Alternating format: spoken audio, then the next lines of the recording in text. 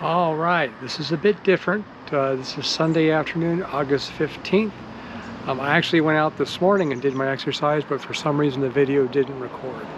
This morning I was 190.3 on the scale when I weighed myself. In terms of my long-term weight loss goal, that's fantastic. 190 was what I wanted to achieve this week.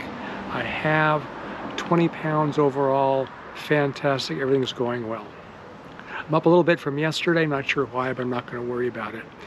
I did go out for a six and a half mile exercise walk and run this morning. Ran about 30 minutes of the total time, walked the rest of it. Uh, feeling a little stiff and sore, that was long for me, but I am trying to start introducing running into my uh, walking routine. Hopefully get back to where I was a couple of years ago. I think it helps accelerate uh, weight loss, I'm feeling great about that. About six hours left on Noble House, getting down to the short straws.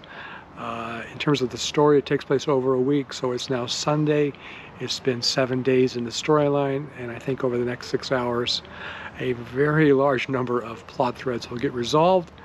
And then I need to start thinking about what I'll watch, read next. I'm not quite sure what it'll be. Either I drop back into my mystery pattern. I'm feeling like I want something different, but I don't know. So I have a couple of days to figure that out. Anyway, feeling good, weight loss on track, exercise moving well. We had clean air this morning, so I was able to go out uh, and do my run walk. So feeling great. Catch you all tomorrow.